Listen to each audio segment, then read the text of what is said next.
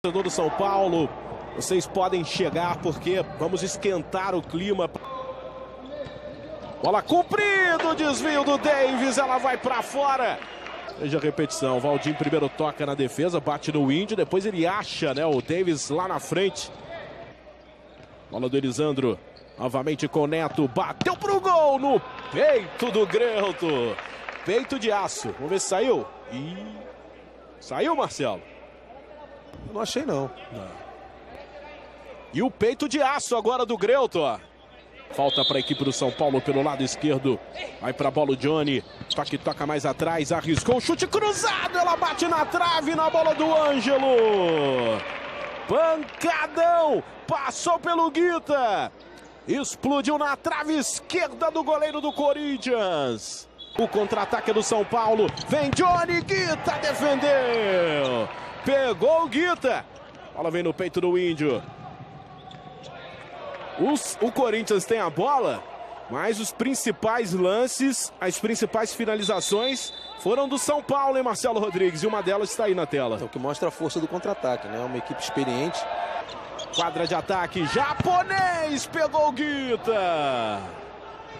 E, opa! Canetinha. Bateu pro gol, ela toca na defesa e sai. Temos que fazer um clipe com as canetas mais bonitas. Olha que maravilha. Então põe essa aí, ó. Ô, meu garoto. Fala aí, Daniel. O clima tá esquentando, Libertadores na sequência, olha o Guita perdeu, o Pesque também! O Pesque! Vai levar. Presta atenção no serviço, meu garoto. O Guita também merece. Mas o Pesque com gol aberto, a bola subiu. São Paulo conquistando um ponto importante.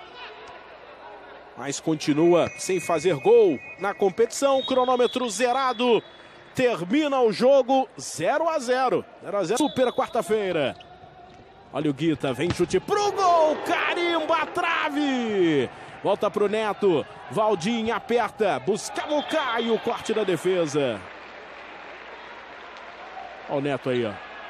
Técnico do São Paulo, assustado ali com um pancadão do Guita na trave. Recuperação de bola do Caio. Se manda pela ala direita. Bate cruzado, mergulha, Greuto. Defesa do goleiro Greuto. Essa vou te contar, é. Ó o Munim, cortou, bateu, defendeu Guita! Na pancada para defesa do goleiro, veja de novo. Perna direita na bola. Balançou o corpo, limpou, cortou. Neto bateu tapinha do Greuto. Tá demais, tá demais o goleiro do São Paulo.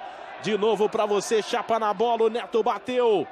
E o Greuto jogando para escanteio.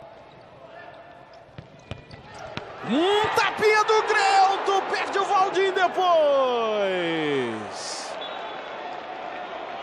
Rapaz, acho que a bola não entrou hoje não, hein? Depois dessa aí, olha o Arthur, ó. Ia ser gol contra do Lelê.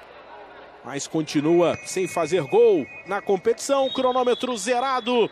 Termina o jogo 0 a 0. 0 a 0 é raro no futsal, principalmente num clássico, mas foi o que aconteceu hoje aqui no ginásio de São Bernardo do